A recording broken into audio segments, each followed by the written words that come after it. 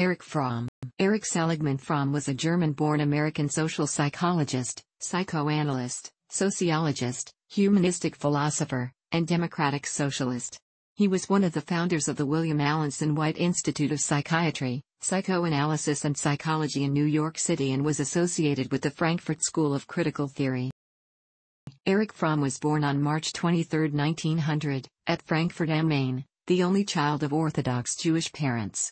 He started his academic studies in 1918 at the University of Frankfurt am Main with two semesters of jurisprudence. During the summer semester of 1919, Fromm studied at the University of Heidelberg, where he began studying sociology under Alfred Weber, psychiatrist philosopher Karl Jaspers, and Heinrich Rickert. Fromm received his PhD in sociology from Heidelberg in 1922.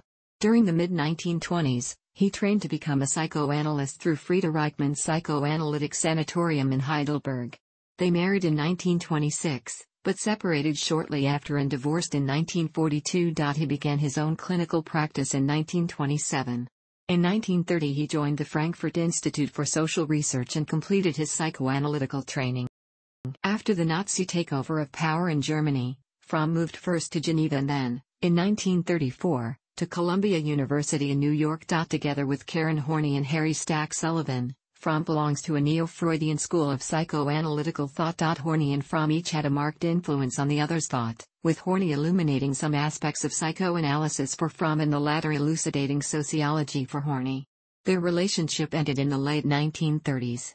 After leaving Columbia, Fromm helped form the New York branch of the Washington School of Psychiatry in 1943, and in 1946 co-founded the William Alanson White Institute of Psychiatry, Psychoanalysis, and Psychology. He was on the faculty of Bennington College from 1941 to 1949, and taught courses at the New School for Social Research in New York from 1941 to 1959. When Fromm moved to Mexico City in 1949, he became a professor at the National Autonomous University of Mexico and established a psychoanalytic section at the medical school there. Meanwhile, he taught as a professor of psychology at Michigan State University from 1957 to 1961 and as an adjunct professor of psychology at the Graduate Division of Arts and Sciences at New York University after 1962. He taught at UNAM until his retirement, in 1965, and at the Mexican Society of Psychoanalysis until 1974. In 1974 he moved from Mexico City to Muralto, Switzerland, and died at his home in 1980 five days before his 80th birthday. All the while, Fromm maintained his own clinical practice and published a series of books. Fromm was reportedly an atheist but described his position as non-theistic mysticism. Beginning with his first seminal work of 1941, Escape from Freedom, Fromm's writings were notable as much for their social and political commentary as for their philosophical and psychological underpinnings. Indeed, Escape from Freedom is viewed as one of the founding works of political psychology. His second important work, Man for Himself, An Inquiry into the Psychology of Ethics, first published in 1947, continued and enriched the ideas of escape from freedom. Taken together, these books outline Fromm's theory of human character, which was a natural outgrowth of Fromm's theory of human nature. Fromm's most popular book was The Art of Loving, an international bestseller first published in 1956, which recapitulated and complemented the theoretical principles of human nature found in Escape from Freedom and Man for Himself principles which were revisited in many of Fromm's other major works. Central to Fromm's worldview was his interpretation of the Talmud and Hasidism. He began studying Talmud as a young man under Rabbi J. Horowitz and later under Rabbi Salman Baruch Rabinkow, a Chabad Hasid. While working towards his doctorate in sociology at the University of Heidelberg, Fromm studied the Tanya by the founder of Chabad, Rabbi Shneur Zalman of Liadi. Fromm also studied under Nehemiah Nobel and Ludwig Krause while studying in Frankfurt. Fromm's grandfather and two great-grandfathers on his father's side were rabbis, and a great-uncle on his mother's side was a noted Talmudic scholar. However, Fromm turned away from Orthodox Judaism in 1926, toward secular interpretations of scriptural ideals. The cornerstone of Fromm's humanistic philosophy is his interpretation of the biblical story of Adam and Eve's exile from the Garden of Eden. Drawing on his knowledge of the Talmud, Fromm pointed out that being able to distinguish between good and evil is generally considered to be a virtue, but that biblical scholars generally consider Adam and Eve to have sinned by disobeying God and eating from the tree of knowledge. However, departing from traditional religious orthodoxy on this, Fromm extolled the virtues of humans taking independent action and using reason to establish moral values rather than adhering to authoritarian moral values.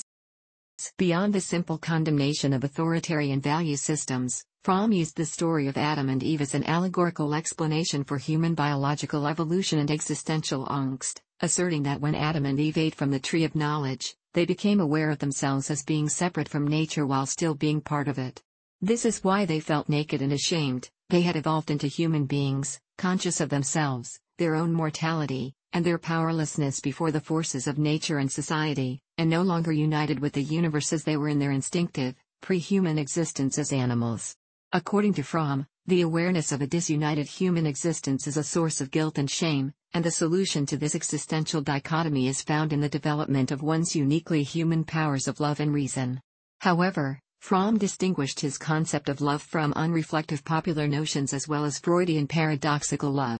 Fromm considered love to be an interpersonal creative capacity rather than an emotion, and he distinguished this creative capacity from what he considered to be various forms of narcissistic neuroses and sadomasochistic tendencies that are commonly held out as proof of true love. Indeed, Fromm viewed the experience of falling in love as evidence of one's failure to understand the true nature of love, which he believed always had the common elements of care, responsibility, respect, and knowledge.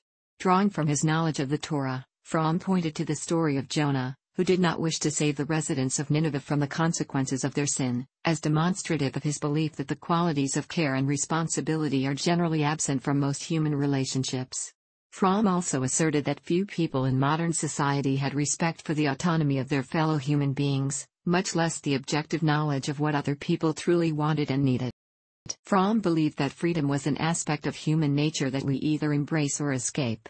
He observed that embracing our freedom of will was healthy, whereas escaping freedom through the use of escape mechanisms was the root of psychological conflicts.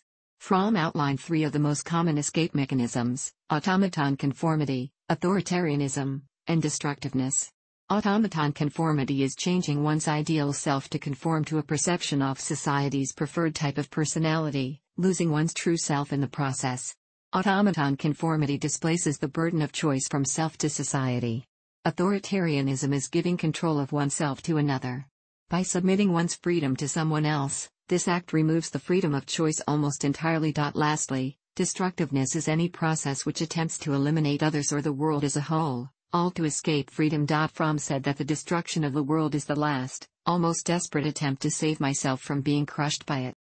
The word biophilia was frequently used by Fromm as a description of a productive psychological orientation and state of being. For example, in an addendum to his book The Heart of Man, Its Genius for Good and Evil, Fromm wrote as part of his humanist credo. I believe that the man choosing progress can find a unity through the development of all his human forces, which are produced in three orientations. These can be presented separately or together biophilia, love for humanity and nature, and independence and freedom. Erich Fromm postulated eight basic needs. Fromm's thesis of the escape from freedom is epitomized in the following passage. The individualized man referenced by Fromm is man bereft of the primarities of belonging, also expressed as freedom from. In his book Man for Himself, Fromm spoke of orientation of character. He differentiates his theory of character from that of Freud by focusing on two ways an individual relates to the world. Freud analyzed character in terms of libido organization, whereas Fromm says that in the process of living, we relate to the world by 1. Acquiring and assimilating things, assimilation, and 2 reacting to people, socialization. Fromm asserted that these two ways of relating to the world were not instinctive, but an individual's response to the peculiar circumstances of his or her life. He also believed that people are never exclusively one type of orientation. These two ways of relating to life circumstances lead to basic character orientations. Fromm lists four types of non-productive character orientation, which he called receptive, exploitative, hoarding, and marketing and one positive character orientation, which he called productive. Receptive and exploitative orientations are basically how an individual may relate to other people and are socialization attributes of character. A hoarding orientation is an acquiring and assimilating materials slash valuables character trait. The marketing orientation arises in response to the human situation in the modern era. The current needs of the market determine value. It is a relativistic ethic. In contrast, the productive orientation is an objective ethic. Despite the existential struggles of humanity, each human has the potential for love, reason and productive work in life. Fromm writes, It is the paradox of human existence that man must simultaneously seek for closeness and for independence, for oneness with others and at the same time for the preservation of his uniqueness and particularity. The answer to this paradox, and to the moral problems of man, is productiveness. Fromm's four non-productive orientations were subject to validation through a psychometric test, the person-relatedness test by Elias H. Porter, Ph.D. in collaboration with Carl Rogers, Ph.D. at the University of Chicago's Counseling Center between 1953 and 1955. Fromm's four non-productive orientations also served as basis for the LIFO test, first published in 1967 by Stuart Atkins, Alan Katcher, Ph.D., and Elias Porter, Ph.D. in the Strength Deployment Inventory, first published in 1971 by Elias H. Porter, Ph.D. Fromm also influenced his student Sally L. Smith who went on to become the founder of the Lab School of Washington and the Baltimore Lab School. Fromm examined the life and work of Sigmund Freud at length. Fromm identified a discrepancy between early and later Freudian theory, namely that, prior to World War I, Freud had described human drives as a tension between desire and repression, but after the end of the war, began framing human drives as a struggle between biologically universal life and death instincts. Fromm charged Freud and his followers with never acknowledging the contradictions between the two theories. Fromm also criticized Freud's dualistic thinking. According to Fromm, Freudian descriptions of human consciousness as struggles between two poles were narrow and limiting. Fromm also condemned Freud as a misogynist unable to think outside the patriarchal milieu of early 20th century Vienna. However, in spite of these criticisms, Fromm nonetheless expressed a great respect for Freud and his accomplishments. Fromm contended that Freud was one of the architects of the modern age, alongside Albert Einstein and Karl Marx, but emphasized that he considered Marx both far more historically important than Freud and a finer thinker. Fromm's best known work, Escape from Freedom, focuses on the human urge to seek a source of authority and control upon reaching a freedom that was thought to be an individual's true desire. Fromm's critique of the modern political order and capitalist system led him to seek insights from medieval feudalism. In Escape from Freedom, he found value in the lack of individual freedom, rigid structure, and obligations required on the members of medieval society. The culmination of Fromm's social and political philosophy was his book The Sane Society, published in 1955, which argued in favor of a humanistic and democratic socialism. Building primarily upon the early works of Karl Marx, Fromm sought to re-emphasize the ideal of freedom, missing from most Soviet Marxism and more frequently found in the writings of libertarian socialists and liberal theoreticians. Fromm's brand of socialism rejected both Western capitalism and Soviet communism, which he saw as dehumanizing, and which resulted in the virtually universal modern phenomenon of alienation. He became one of the founders of socialist humanism, promoting the early writings of Marx and his humanist messages to the US and Western European public. In the early 1960s, Fromm published two books dealing with Marx's thought. In 1965, working to stimulate the Western and Eastern cooperation between Marxist humanists, Fromm published a series of articles entitled Socialist Humanism, an International Symposium. In 1966, the American Humanist Association named him Humanist of the Year. For a period, Fromm was also active in U.S. politics. He joined the Socialist Party of America in the mid-1950s, and did his best to help them provide an alternative viewpoint to McCarthyism trends in some U.S. political thought. This alternative viewpoint was best expressed in his 1961 paper May Man Prevail? An inquiry into the facts and fictions of foreign policy. However, as a co-founder of SANE, Fromm's strongest political activism was in the international peace movement, fighting against the nuclear arms race and U.S. involvement in the Vietnam War. After supporting Senator Eugene McCarthy's losing bid for the Democratic presidential nomination, Fromm more or less retreated from the American political scene, although he did write a paper in 1974 entitled Remarks on the Policy of Détente for a hearing held by the U.S. Senate Committee on Foreign Relations. In Eros and Civilization, Herbert Marcuse is critical of Fromm. In the beginning, he was a radical theorist, but later he turned to conformity. Marcuse also noted that Fromm, as well as his close colleagues Sullivan and Karen Horney, removed Freud's libido theory and other radical concepts, which thus reduced psychoanalysis to a set of idealist ethics, which only embrace the status quo.